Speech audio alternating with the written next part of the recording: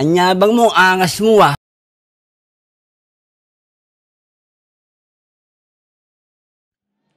Hello guys, good afternoon.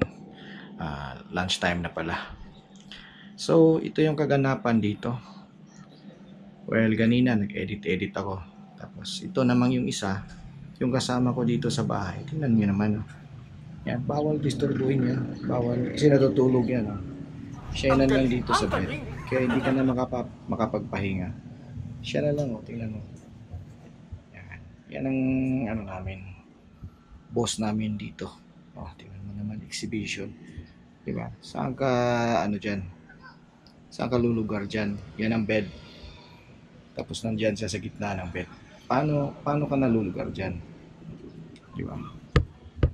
Tapos, ano? Tapos, so yan, oh. Pakita pa yan talaga, oh. Tingnan mo. Oh, yan. Magaling, di ba? Oh. Tingnan mo sa labas kung ano nangyayari sa labas.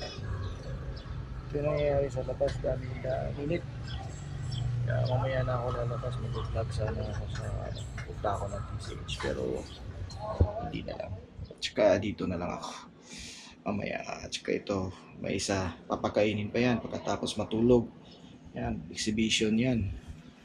Papakainin yan, papa ilalabas para may ano siya, ah, after lunch na uh, walk in the park. Diba? Yan. Yan ang buhay. Ang tatawag sa buhay na yan. Diba? Sarap ng buhay. Okay. Thank you. Yun lang po. Mamaya ulit tayo. Sige. Nana is life.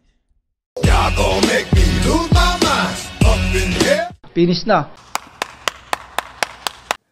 Wala kaming pakialam!